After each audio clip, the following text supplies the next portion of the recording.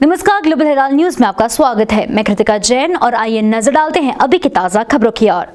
ब्यावरा शहर के कैसी कॉन्वेंट स्कूल के द्वारा स्कूली बच्चों को स्कूली वाहन की फ़ीस नहीं देने पर परीक्षा से वंचित रखने के मामले में जनपद शिक्षा केंद्र बीआरसी कैलाश नारायण दांगी ने स्कूल प्रबंधक को नोटिस देकर दिन में स्पष्टीकरण मांगा है। बता दें कि गत दिनों अभिभावक राधेश्याम पवैया ने शिकायत की थी कि उनके पुत्र को स्कूल वाहन की फ़ीस की बात कहकर स्कूल के बाहर खड़ा कर अर्धवार्षिक परीक्षा से वंचित रखा गया था, जिसकी शिकायत के बाद बीआरसी ने स्कूल प्रबंधन को नोटिस जारी कर जवाब मांगा है।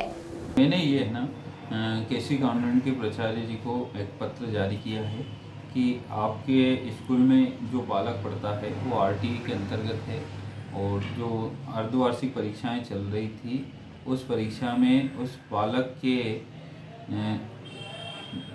परिवार से हमें पत्र मिला था कि हमारे बच्चे को राधेश्याम जी पोये जी द्वारा पत्र हमें शिकायत दी गई थी कि हमारे बच्चे को स्कूल से बाहर खड़ा किया गया।